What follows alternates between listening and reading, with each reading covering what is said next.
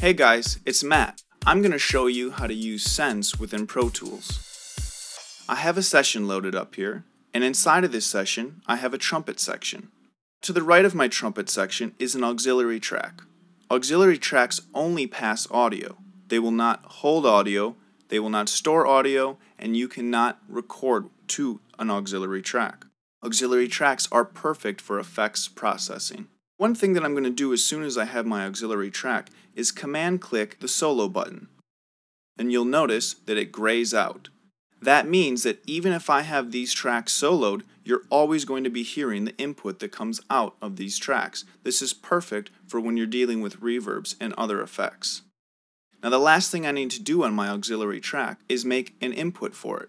I'm going to go to my I.O. section and go to my input menu and select the next available bus that I have, 23 and 24.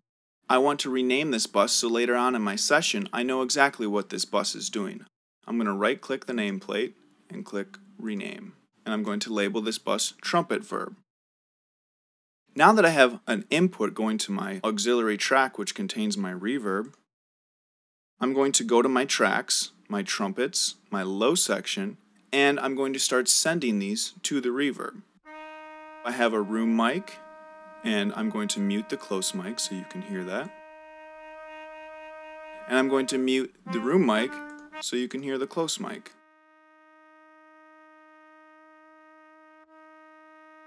Now what I want to do is blend these two together in the reverb, and I'm going to do that by going to my send menu and assigning bus trumpet verb to both my tracks. Now a quick and easy way to drag this over to here instead of going through the menu is to hold down Option and drag the nameplate. You can see I have a send menu that popped up here. I have my mute, my solo, my fader, and a pan to pan between the two channels. Now you'll notice that there's some other things going on up here.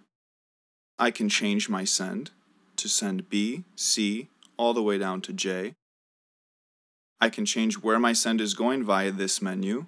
I can send it to a new bus if I please, or click out of it to keep it the same. You'll see that there's some other options here, one of them being pre-fader. What pre-fader allows you to do is if it's on, you can mute your original tracks, and when you turn up the send, you're still going to get some reverb. So we're just going to be hearing the reverb now with pre-fader on.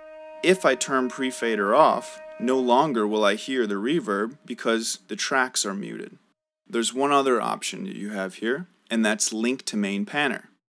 Right now, my pans are independent of one another. My main track, which is being bussed to the reverb, is panned left by 30%. My reverb send is being panned right 47%. If I click FMP, which stands for follow main pan, it's going to abide by the pan that's on the track.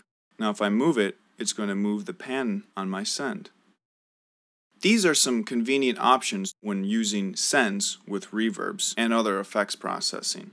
Join the conversation by following WinkSound on Facebook, Twitter, and YouTube to keep up with everything you need to know about music and audio technology.